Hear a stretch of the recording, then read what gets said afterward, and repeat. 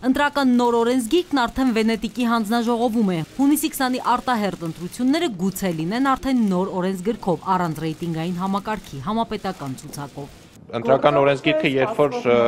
կընդունվի նոր փոփոխությունները եւ եթե կտեսնենք, որ ուժի մեջ է մտնում ռեյտինգային համակարգը վերացնելու համակարգը, բնականաբար նորով, բայց կուսակցությունների խաղի կանոններին պատրաստ լինելու մասով խնդիր չեմ տեսնում։ Առնվազն մեկ կուսակցություն արդեն հայտնել է, որ պատրաստ չէ խաղի նոր կանոններին։ Լուսավոր Հայաստանը դեմ է նոր օրենսգրքով ընտրության գնալու, նախ օրենսգիրքն ըստ Էդմոն Մարուկյանի դեռ հում է, եւ երկրորդ խաղի կանոնները խաղի ժամանակ փոխել չի կարելի։ Նոր օրենսգրքի պատճառով ամենայն հավանականությամբ կփոխվի ընտրության օրը, ինչը կխորացնի ճգնաժամը։ Բոլորս գործող խաղի կանոններ պատրաստվում են ընտրություններին։ Նոր խաղի կանոններ ընդունել նշանակում ընտրության օրը կասկածի տակ դնել, հետեւաբար ճգնաժամը խորացնել երկրում։ Արդարադատության նախարարը դեռ չի հաստատում կա արդյոք քաղաքական հստակ որոշում գնալ նոր թե հին ընտրական օրենսգրքով, բայց վստահ է քաղաքական ու հասարակության շրջանակներում նորով գնալու համաձայնությունը կա, իսկ հասարակությունը իր զգացողությամբ նույնպես դեմ է ռեյտինգային համակարգին։ Ռեյտինգային համակարգը uh,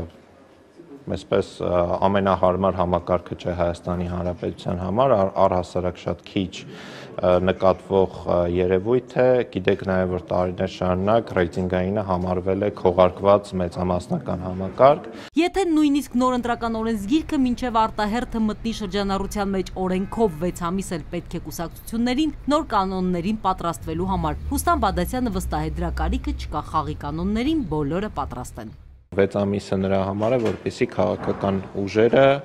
պատրաստ լինեն նոր ընտրական օրենսգրքով գնալ ընտրությունների, մինչդեռ արդեն բավական երկար ժամանակ այդ իմ ասած կոնսենսուսը արկա է քաղաքական ուժերի շրջանում եւ ես կարծում եմ, որ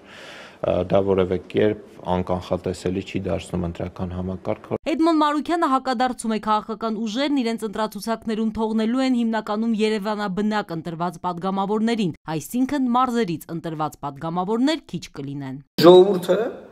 ընտրում է լիդերի, կամ կուսակցության երրյակի, հա, կամ թող լինի տասնյակի, բայց ընտրվում են մարդիկ, ովքեր ըստ էության, եթե ժողովրդի առաջ կանգնեին, ժողովրդի դատի առաջ կանգնեին, որ ընտրվեին, այդ մարդիկ չէին ընտրվի։